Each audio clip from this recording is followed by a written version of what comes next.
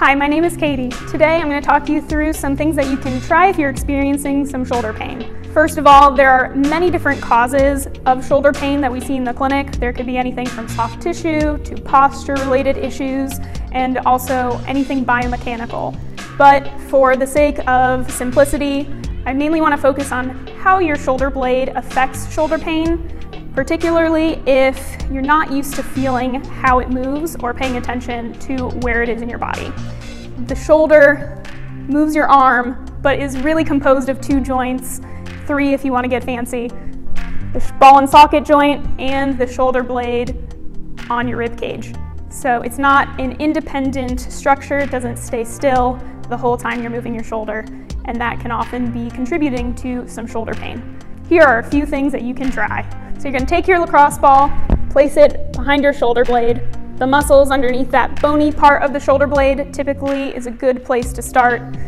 Take your arm and just lean a little bit into the ball, but nothing too extreme. And you can rotate your arm in and out to get the muscles moving over that pressure. Another thing you can try is something that we call scapular retraction, which is a fancy way of saying move your shoulder blades together. So the key with this is moving your shoulder blades in and together from the muscles between your shoulder blades. So looking from the side, you want to bring your shoulder blades in and together without shrugging them up to your ears. So again, bring them back, hold for a few seconds, and then relax.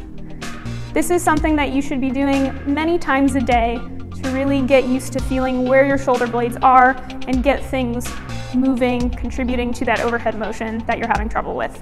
Next thing you can try, if you have a resistance band, it doesn't matter if it's in a straight line or if it's in a loop. Either way, grab it between two hands, keep your elbows down by your side, using your shoulder blades pinched a little bit together and activated like you were doing the exercise before. You're gonna hold tension on the band and slowly lift your arms up, feeling the load between your shoulder blades, and then coming back down nice and slow. You should mainly feel this in the bottom of your shoulder blades, not up at the neck. If you're holding tension here at the neck, you're not using the right muscles.